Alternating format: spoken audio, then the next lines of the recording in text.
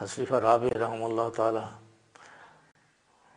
ان کا بھی یہی حال تھا کہ آپ نے، وہ جب یہاں سے گئے ہیں تو کسی کو پتہ نہیں تھا کہ حضور یہاں سے جانے والے ہیں۔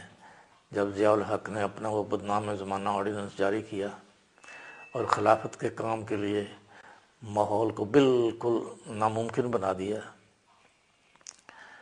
तो हजूर ने जब जुमा पढ़ाया है, उसके बाद यूँ हाथ ला करना हजूर जैसे रुखसत हुए हैं।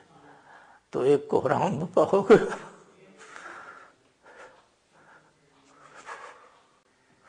क्योंकि कितना भी छुपाए मोहब्बत और एक छुप नहीं सकता। हजूर से जो लोगों की मोहब्बत थी और है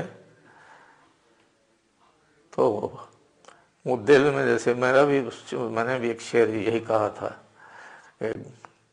गुलशन से वो जब निकल रहा था जो पेड़ था जो पेड़ था हाथ मल रहा था तो यही तल्लक रहा Hazrat Khalifatul Masih IV's leadership was characterized by vibrancy and dynamism that became the hallmark of his 21-year tenure of office.